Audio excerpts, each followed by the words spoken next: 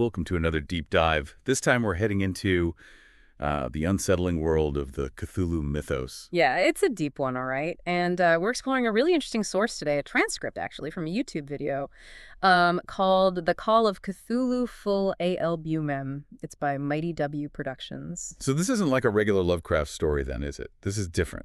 Yeah, it's definitely different. Um, instead of like a straightforward narrative, we've got this kind of like collection of evocative phrases and images, almost um like incantations, I guess you could say, or like little glimpses into a, a disturbed mind, maybe. Yeah, I noticed that right away. Like even the first few lines Hmm. um, mentioned mind shadows and dreams. Yeah. This constant like searching for a sign. What do you think they're looking for? You know what's interesting? The transcript doesn't really say. It's like the source material itself is shrouded in mystery. What Yeah. there are a lot of words like night, dark, and shadows, which all that suggests we're dealing with, you know, hidden knowledge, something lurking, just beyond our perception, which is a real key element, I think, of cosmic horror. Yeah, it's like we're being given fragments of a nightmare or something. And then there are these names, like they just drop them. Cthulhu, ancient gods, mm-hmm. whispering shadows. Who are these entities? And why should we be afraid of them? Well, that's where it gets really interesting. The transcript doesn't give us a like a neat biography or anything like that of who's who, but Yeah. the way that these names are presented, it's almost like reverently it implies, like mm-hmm. immense power and a real serious threat to humanity. This isn't just some like typical ghost story, you know. We're talking Yeah. being so ancient and vast that they really challenge our understanding of reality. Right. And the descriptions that follow, Right. like rising for the deep, stars aligning, sanity breaking, it's also Yeah. apocalyptic. Exactly. It really the language really evokes a sense of overwhelming scale. Yeah. You know, it's not just about like personal fear. It's about the potential collapse of everything we know. The transcript really wants us to feel, you know, how small humanity is against these forces. I was really struck by this, this mention of pages found in blood and bone and these neonic calls. It sounds ritualistic. What do you think's going on there? Oh yeah. Good observation. Those details really suggest a connection between forbidding knowledge and summoning, you know, these beings. Neonic seems like. Maybe a misspelling of Necronomicon. That's a fictional. Grimoire, uh, which is just a fancy word for a book of magic that's featured in lots of, you know, Cthulhu mythos stories. Ah, so this isn't just cosmic dread we're talking about. It's humans Mm-hmm. actively seeking contact with these entities, maybe through these forbidden texts. Right. And the Necronomicon, if that is what's involved here, well, things usually don't end well. The pursuit of that knowledge in Lovecraft world, it often leads to madness. Or even worse. Okay, so we've got these ancient and powerful beings, hidden knowledge that humans are trying to get access to, and this sense of an apocalypse coming. There's also this idea that comes up again and again, this idea of destiny and awakening. Does that mean something big is about to happen? That's one of the unsettling things about the mythos. It plays on this feeling of inevitability, like there's some shift coming, some cosmic shift and we can't stop it.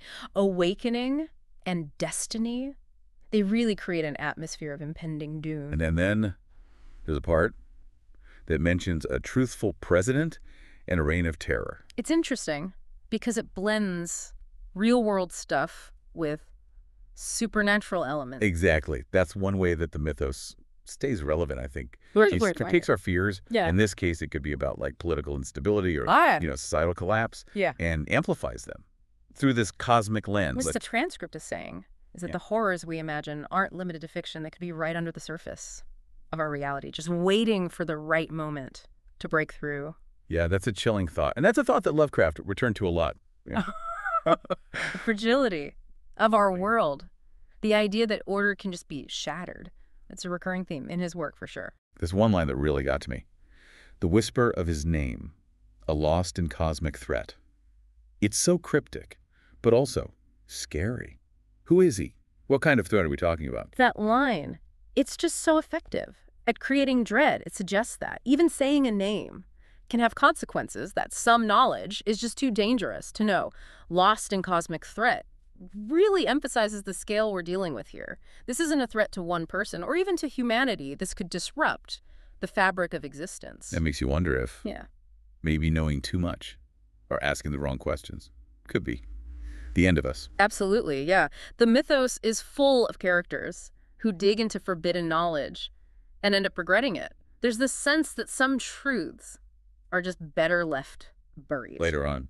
The transcript describes this being as a gatekeeper of the round alone and someone who whispers truth in the darkness. Those phrases, it's like they contradict each other. What do you make of that? What's interesting there is how those lines hint at a being that exists outside of our normal understanding of time and space. Gatekeepers of the round alone, that suggests a guardian. Someone who is alone, maybe watching over, a boundary between worlds or dimensions. But then whispering truth in the darkness implies a temptation, a temptation to seek out that knowledge, forbidden knowledge. So this entity might have the keys to understanding the universe, but at a terrible cost. Exactly, yeah. That comes up a lot in Lovecraft, that the pursuit of knowledge often leads to madness and destruction. Like some things are just not meant for us to understand. Like peering into the mind of God Mm. and realizing the sight would drive you mad. That's a powerful way to put it. The transcript seems to be saying that encountering this being, even hearing its name, could just shatter our realities like, oh, the ultimate cosmic horror, a force that we just can't understand, and that threatens our sanity. So we're back and uh, still trying to unpack this wild transcript. Yeah, before the break, we were talking about how this transcript really emphasizes that. Our reality is fragile, and that there are these beings that are just way more powerful than we can imagine. It really does. It makes you think differently about things. The transcript also has all these astronomical references, you know, really emphasizing that cosmic scale, like how stars aligning is mentioned over and over again. Something big is going to happen, and it might not be good. It's like the whole universe is working against us. Eh. And that line, eyes that watch from the face, so near, so creepy. Oh, yeah, totally. That image of being watched by something you can't even see, it's like a primal fear, you know. We're not alone out there, but maybe we should be. Because whatever else is out there doesn't seem very friendly. It's a classic cosmic horror, though, isn't it? Just feeling like you're being watched, but you don't know by what, and you can't even understand it if you could see it. And then there's this whole part about decision and how shadows and the lighting darkness offer freedom. Hmm. In a world where time stands still, Mm-hmm. is it really a choice, though? If the only other option is something you can't even imagine? Oh, that's a good point. Yeah. It seems like the transcript is saying you should just give up to these forces, embrace the darkness. But that freedom it talks about, it might cost you your humanity. It's disturbing. But Lovecraft wrote about that a lot, how powerless we are against these forces. Like if you're on a sinking ship Mm. and someone throws you a life preserver, but they're throwing you toward a hurricane. Sure, you're escaping one threat, but you're facing something much worse. Yeah. That's a great way to put it. And the transcript just keeps building up this sense of doom with lines like, from the death of chaos and whispers of fate echo salvation. So maybe there's some kind of rebirth, but it's twisted. So it's not just the end of everything, and it's the start of something new Mm-hmm. that we just can't understand. What would that even look like, though? Would there even be humans anymore? Well, that's the question, isn't it? The Cthulhu mythos. It doesn't like give you easy answers. It makes you face the fact that the universe is huge and we're just a tiny part of it. Yeah. And that we might not even matter in the grand scheme of things. You know what I noticed? This transcript keeps using the same phrases over and over, like it's trying to hypnotize you or something. Rising from the deep, stars aligning, and sanity breaking, like a broken record stuck on doom. You're right. Repetition can be a powerful tool. In this case, it just pulls you deeper into the horror. Those phrases almost sound like warnings or even prophecies, like it's unavoidable. Whatever it is, it's coming. Like the transcript is trying to warn us about something we can't understand to get ready for it. Yeah, and maybe even deeper than that. It's about how existence just keeps repeating creation and destruction, endings and beginnings. But those new beginnings might not be a good thing at all. There's so much imagery about darkness and shadows, hidden knowledge. Like it's saying, there are some truths that are better left alone. Yeah. Forbidden knowledge. That's a major theme in the mythos. The idea that there are truths about the universe that would break your mind if you ever really understood them. like looking at God. And the power of it would just destroy you instantly. Exactly. The transcript seems to be saying the human mind just wasn't meant to understand the cosmos. That we should just stay ignorant and happy in our little corner of the universe. Yet, we keep searching, trying to understand more, even if it means we go crazy or even die. We just can't help ourselves. Yeah, that's what it means to be human, right? We want to know, we want to understand, even if that understanding destroys us. It's a theme you see everywhere in literature and philosophy. But the mythos really takes it to an extreme. And there's the pages found in Blood and Bone and those neonic calls. We were talking earlier about the Necronomicon. Right. But it also sounds like people are going out looking for this dangerous knowledge, trying Yeah. to summon these entities. Right, so it's not just watching these horrors happen or be afraid of them. Humans are making choices. Maybe those choices are driven by ego or curiosity. But they're still choices. It's like we're causing our own destruction by Uh-huh. needing to know everything. That's a really scary thought, isn't it? Are we really in control? Or are we just pawns in some cosmic game and we can't even understand the players or the rules? It's interesting, too, how this transcript mixes cosmic horror and a political thriller. We were talking about that truthful president before, but there's that line about a reign of terror, too. It's like it's saying the mythos isn't just about these otherworldly beings. It's about how humans can be just as bad, corrupt. That's a really good point, yeah. The transcript doesn't shy away from that. The dark side of human nature, you know. How Well- power corrupts. How even good intentions can lead to something terrible. The transcript might even be saying that. The scariest thing isn't the unknown, it's us. Like the mythos is just a metaphor for all the ways we can mess up, how we can give in to our worst impulses. And it's not just about individuals either, it's about society. The transcript talks about the world falling apart, institutions crumbling, the end of reality. A scary thought to realize that we might destroy ourselves, Yeah. that maybe some monster from space isn't what will end us. Absolutely. And that brings us back to choices. Even with all these forces we can't control, even when the world is falling apart, we still have to choose how to respond, how to face the darkness.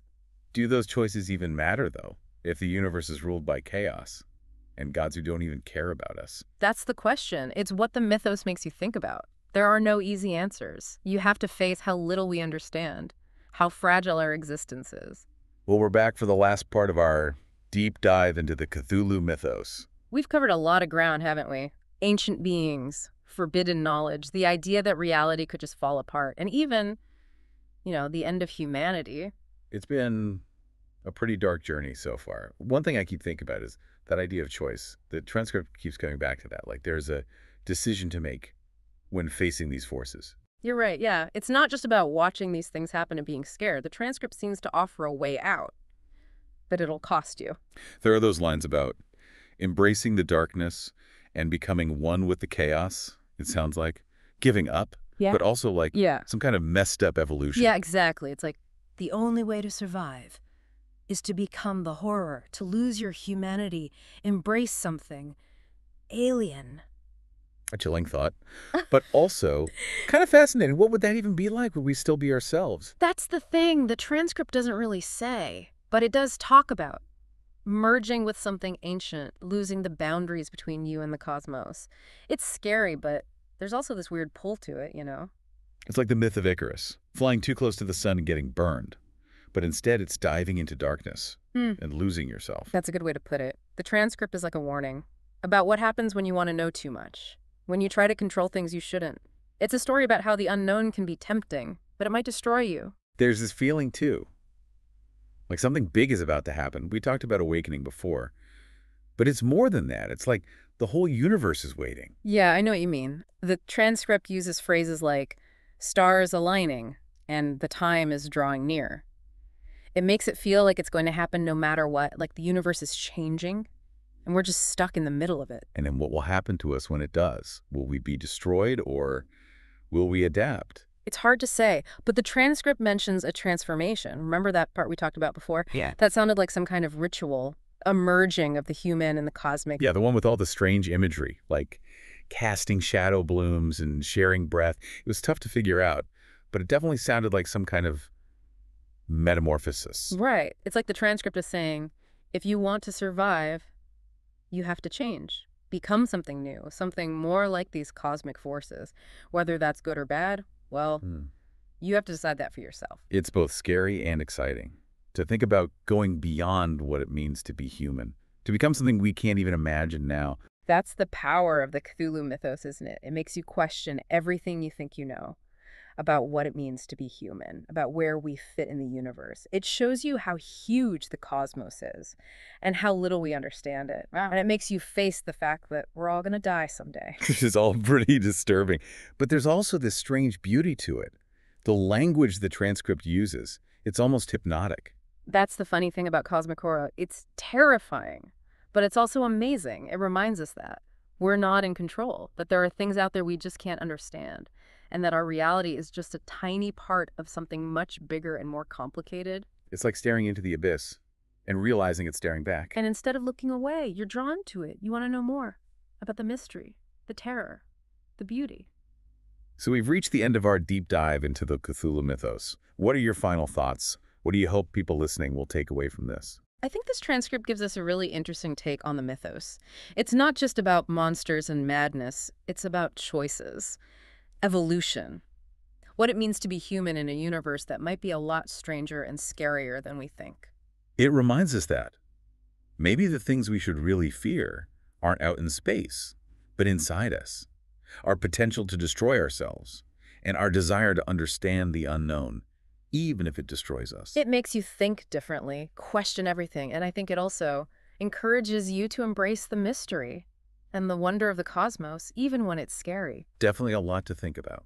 If this exploration into the Cthulhu mythos has gotten you curious, well, we encourage you to check out the works of H.P. Lovecraft, see what unsettling truths you can uncover. And don't forget, sometimes the scariest monsters are the ones we make ourselves. Thanks for joining us on The Deep Dive. Until next time, keep looking up at the stars, but be careful what you wish for.